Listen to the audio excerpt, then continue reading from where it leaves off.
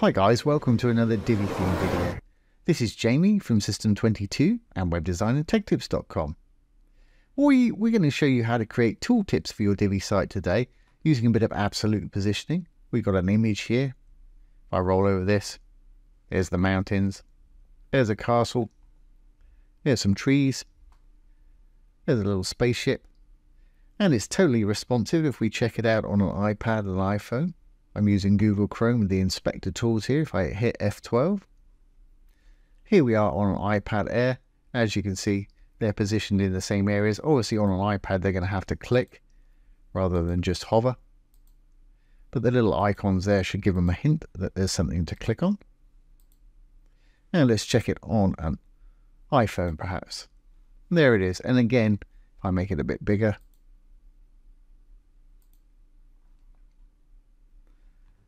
There it's still over the mountains. Again, you've got to click. But it'll work just fine.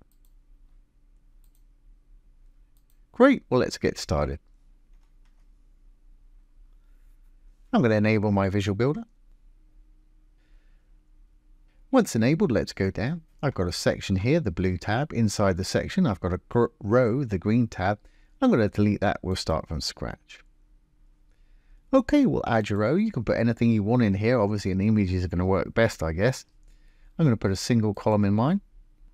And funny enough, I'm going to add an image module. And I'll use that same image. It's got a few different things we can tooltip to. There it is. While I'm in here, I'm just going to go to the advanced attributes, take away the when you hover over it, it puts the name up there. I don't want that, so I'm going to take that away. Okay, let's start creating our tooltips. I'm going to hit the little dark button to add a new module right underneath our new one. Same row. I'm going to use a blurb for this today because it's got the icon and the text. If we roll down, there it is right there. And I guess I'm going to get rid of the title. I'll leave some of this content. You don't want to put too much content in a in a tooltip, but that's entirely up to you. But I will give it a little title. Mountains. As we're going to put this on the mountains there. Image and icon. I want to use an icon for this today. So I'm going to switch the little switch there to on. And I'll use a sort of little button type, radio button type thing there. That's great. Don't want any link. I am going to give our module a background color. I'm going to use black. But of course you use what you want to use. Let's move over to our design now. Image and icon. I'm going to make my icon white. I want my actual icon to be on the left hand side there. Just like that. That works. You can make it bigger or smaller with the icon width there. Don't need any more borders or anything like that. Okay, let's make that text light in color so we can see it. I've just clicked on the little paintbrush by the text there. It'll take you straight to it. I'm going to make it white in color. And perhaps for my mountains, maybe I'll make that bold so it stands out a bit better. So back to my content and text. There's the mountains.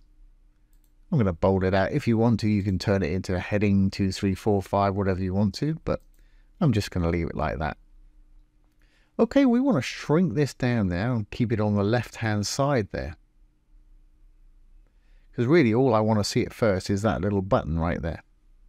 So back over to design, let's go to sizing. Content width, I'll leave it on the default there, but the actual width its, itself, I'm going to take way down. You'll see it shrinking. A little bit too much there. Just get it so it's sort of square with your icon there. I think I did a pixel value of perhaps 32. So if I put 32px in there, that's about right. And I want the same height as well. So if we roll down, that way it's going to be a square. Under the height, I'm also going to put 32 pixels. Great. You can't see it, but that text is actually here. If I roll over it, you can see it spilling down into that little dark section at the bottom there. We don't want to see any of that until we actually hover over it, and I'll fix that in a moment. So to fix that, I go over to Advanced, down to Visibility, Horizontal and Vertical Overflow. I'm going to change both of those to Hidden. But if I hover over it now, you're not seeing it spill out down the bottom there. So all we're seeing is our little icon there. Fantastic. But of course, when somebody hovers over it, I want it to expand so they can see the text inside. So back to the design and sizing. And this is common to all Divi modules. If you hover over the dark writing within inside a module, you'll see some little icons appear. Go to the thing you want to affect, my width. If there's a little arrow there, we can set a hover state and a desktop state. Desktop states when the mouse is not on it. We're leaving it just as it is at 32 pix. When they hover over it, click on the little arrow there to set a different value. Let's take it up, make it as wide as you want it there. As you can see, it's expanding as I do it.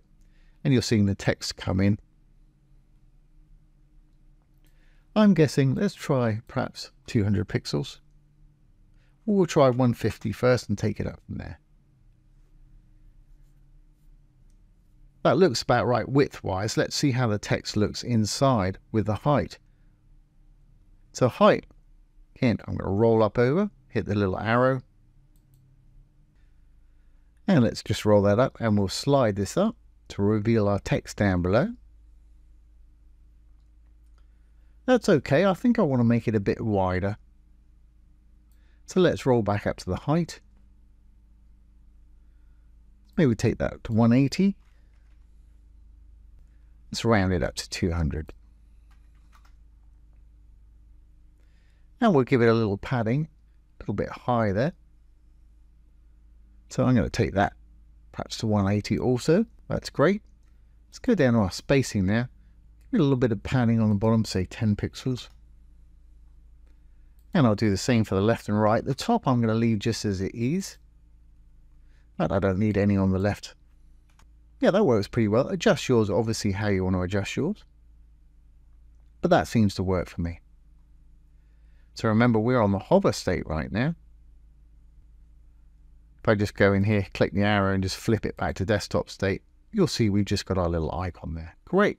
Okay, well, let's position it now. I'm going to go over to advanced, down to position, funnily enough. Let's roll this image down. And we want to put this somewhere over our mountains here because that's what it says on it. Okay, I'm going to change the position from default to absolute and it'll pop up with a little matrix there. Top left corner is fine, but I want to position it a little bit more with vertical and horizontal offset.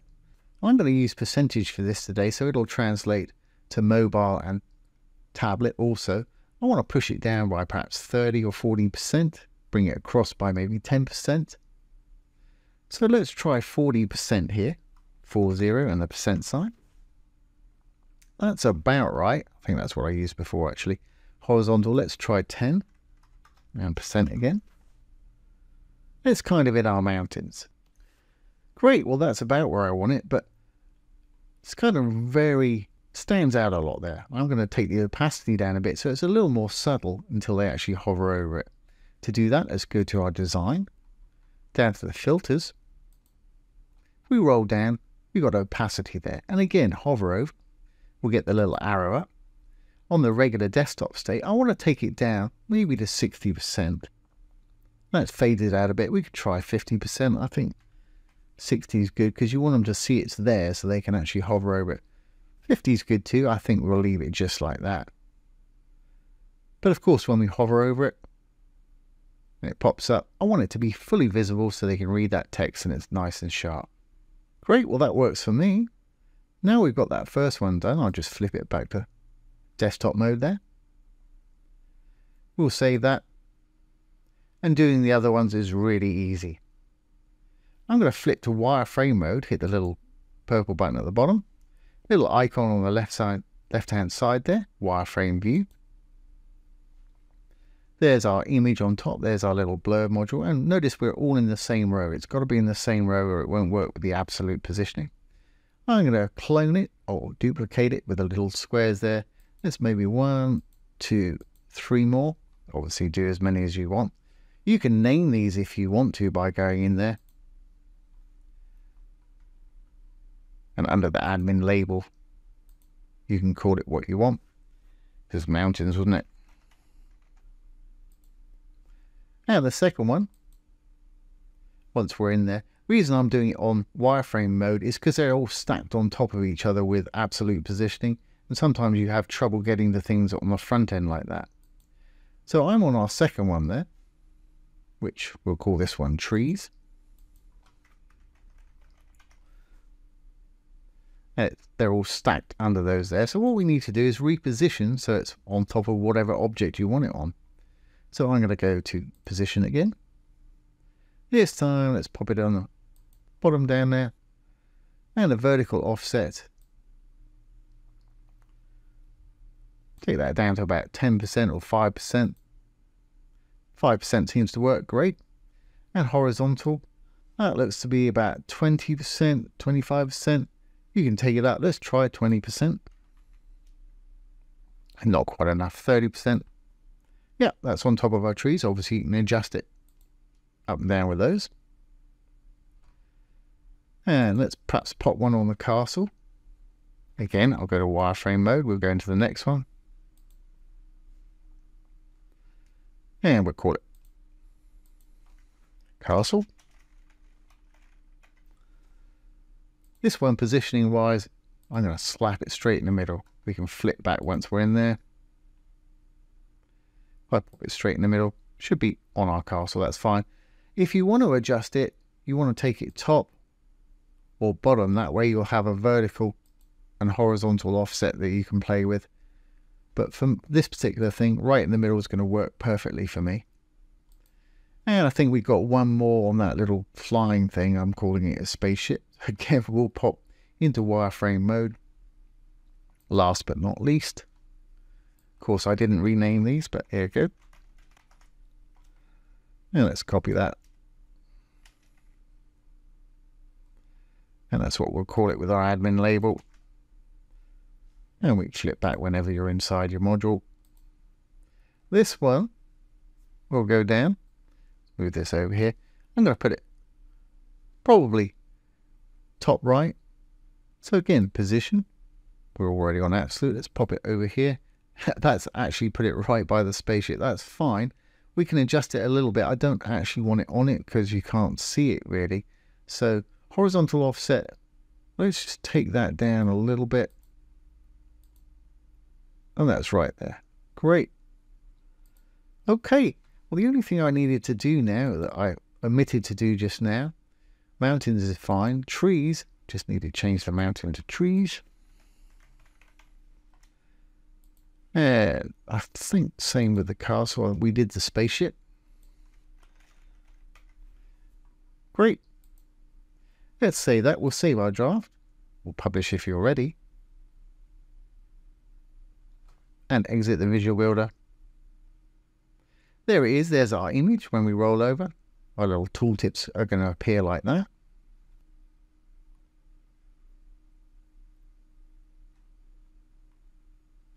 That's great. Really easy to do. And like I say, it converts fine on tablet and mobile. Let's just check that. I'm going to hit my F12 key. Here we are on our iPhone. Let's have a look down here. Yep, they're all in this right place. Of course, we've got to click. Remember, I've got this 200% of the size here. Trees, that's fine. Castle. And obviously, you'd want to change the content in yours. I was just using the default text there. And on an iPad, it should be positioned exactly right too. Let's go down iPad Air perhaps. I'll make that a bit bigger. Yeah, still over the mountains there. That's great. That one's still over our trees. That one's still over the castle. And that one's still beside that little spaceship right there, or whatever it is. so there you go, guys. There's how to position tooltips over an image. Great little interactive feature to add to your Divi website. I hope you've enjoyed this today and found it useful. Don't forget if you have any questions, put them below the video. I'll do my best to answer them for you or make a demo video. Once again, this has been Jamie from System22 and WebDesignAndTechTips.com. Thanks for watching have a great day.